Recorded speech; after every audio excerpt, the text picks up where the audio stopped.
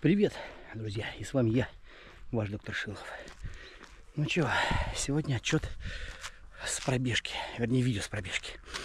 А как я сейчас начал там тренироваться? Я начал бегать. А, после долгого перерыва я начал бегать постоянно, регулярно. И сейчас у меня это выглядит так. Один день я бегаю, один день я катаюсь на велосипеде, чтобы восстановились за это время колени. Дело в том, что не бегал я давно, ходил я очень много.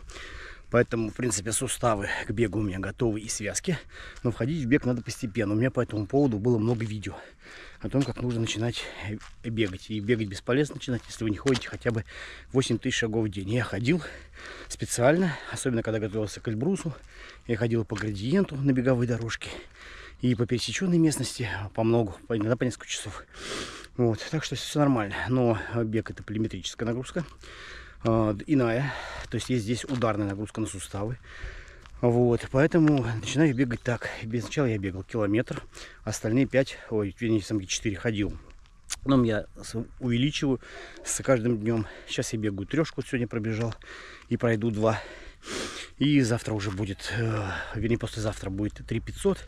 И так я доведу до 5, э, побегаю 5, если погода будет позволять. Вот, и бегаю я вся до снега, пока лыжники уже кататься начинают. И потом уже, ну, и думаю, что доведут до десятки.